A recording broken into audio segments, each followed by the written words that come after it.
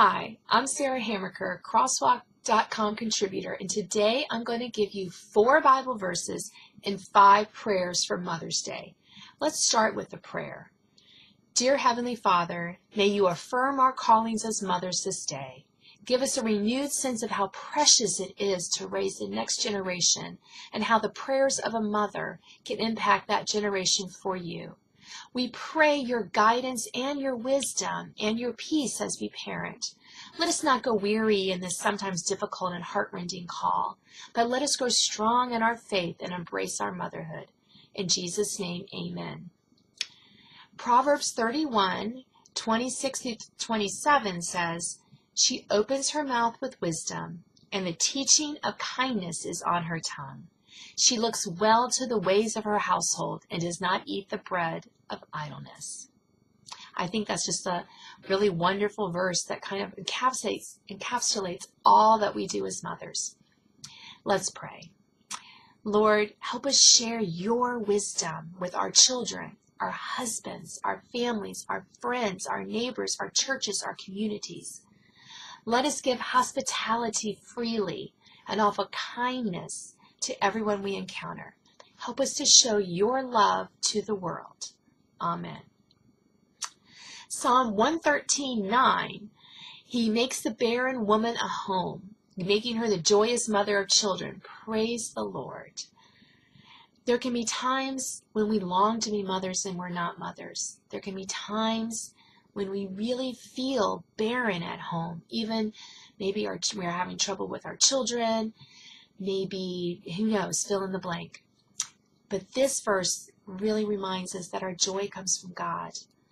Let us pray. Lord, there are women who long for children of their flesh and have not had their prayers answered. There are women who have lost a child.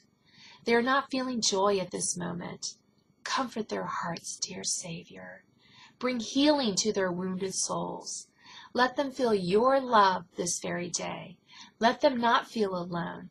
Let them recognize your kind providence in their life, even in these sometimes difficult circumstances. In Jesus' name, amen. 2 Timothy 1.15 says, I'm reminded of your sincere faith, a faith that first dwelt in your grandmother Lois and in your mother Eunice, and now I'm sure dwells in you as well.